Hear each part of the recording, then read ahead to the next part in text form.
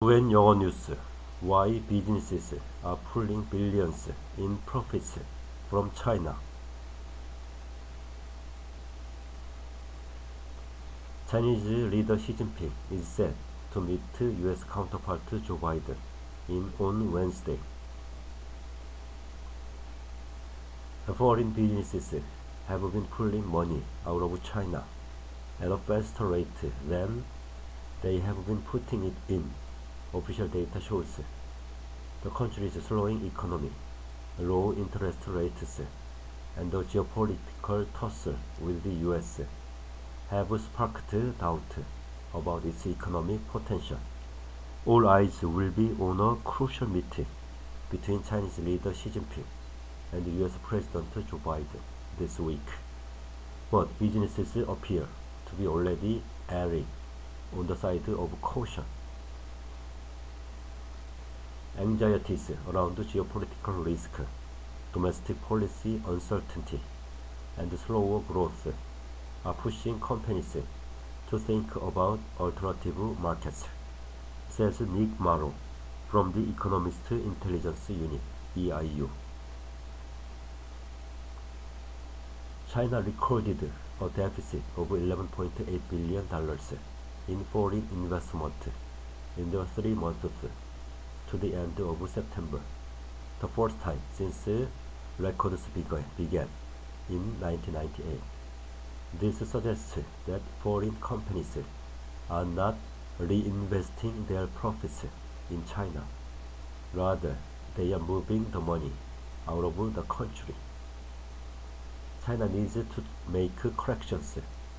China is currently facing slower growth and needs to make some corrections, says a spokesperson for the Swiss industrial machinery manufacturer Oerlikon, which pulled 250 million francs from China last year.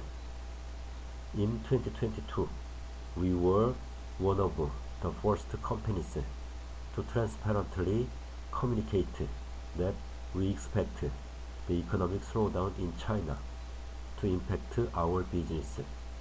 The spokesperson adds, Consequently, we began early to implement actions and measures to mitigate these effects. China remains a key market for the firm. It has close to 2,000 employees across the country, which accounts for more than a third of its sales. Oerlikon noted that the Chinese economy was still expected to post growth of around 5% in the next few years, which is among the highest in the world.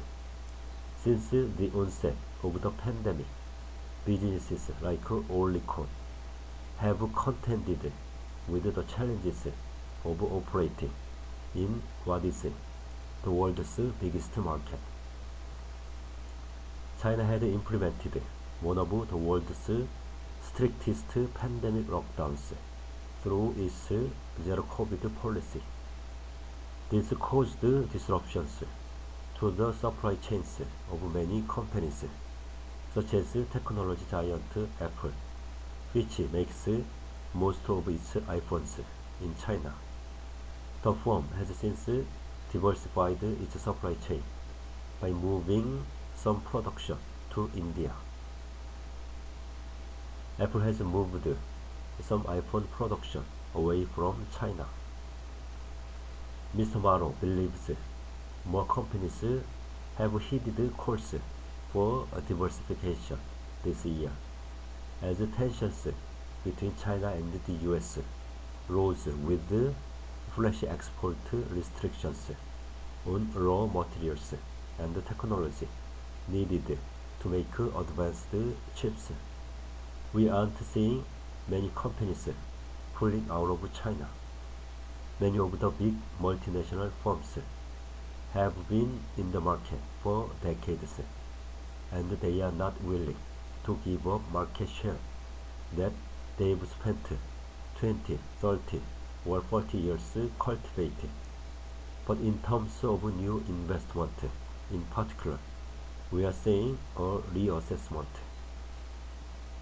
Low interest rates, businesses are also considering the impact of interest rates. China bucked the trend as many countries around the world raised rates sharply last year. Many major central banks, including the US Federal Reserve and the European Central Bank, have been hiking interest rates to tackle inflation. The higher cost of borrowing, which promises higher returns, also attracts foreign capital. Meanwhile, policymakers in China have cut the cost of borrowing to support its economy and the struggling property industry. The yuan has depreciated by more than 5% against the dollar and the euro this year. Rather than rather than reinvesting China earnings back in the country, businesses are spending the money. The European Union Cham Chamber of Commerce in China says it adds those with excess cash and earnings in China have been increasingly transferring these funds overseas, where they will earn a higher investment return compared to investments in China. Some firms had withdrawn earnings from China as part of the long-term cycles of taking profits once their projects reach a specific scale and profitability. Profitability. Michael Hart, president of the American Chamber of Commerce in China, observed, the withdrawal of profits does not necessarily indicate that companies are unhappy with China, but rather that their investments here have matured. Mr. Hart says it's increasing because it means companies are able to integrate their China operations into their global operations. China-based aerospace electronics company Firan Technology Group invested up to 10 million Chinese dollars in China over the last decade. Canadian and withdraw uh, 2.2 million Canadian dollars from the country last year and in the first quarter of 2023 we are not exiting China at all. We are investing and growing our business there and taking out any excess cash to invest elsewhere in the world, says the firm's president and chief executive, Brad Bourne. China is limiting exports of uh, germanium which is needed to make chips.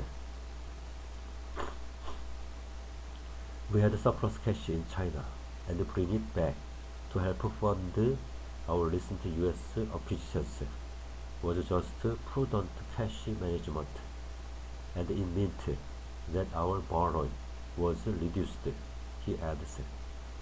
Uncertainty ahead. Analysts say there is much uncertainty about what lies ahead, both in terms of interest rates and China-US ties. China's central bank could move to lower interest rates further this year to support its economy, says Dan Wang, the chief economist of Hang Seng Bank China. Lowering interest rates could put more pressure on the already weakened yuan. There is very limited room for monetary easing right now because of the pressure of currency depreciation, she says. If economic sentiment improves next month, it's safe to say that China will lower interest rates, but if sentiment doesn't improve, the central bank will have a very difficult decision to make. Businesses are cautiously optimistic about the upcoming meeting between President Presidents Xi and Biden, says the EIU's Mr. Marro. Direct meetings between the two presidents tend to exert a stabilizing force on bilateral ties. We have also seen a flurry of US-China diplomatic engagement over the past couple of months, which has contributed to this feeling that both sides are aiming to put a floor under the relationship, he says. That said, it doesn't take much for things to fall apart again until companies and investors feel like they can navigate with more certainty.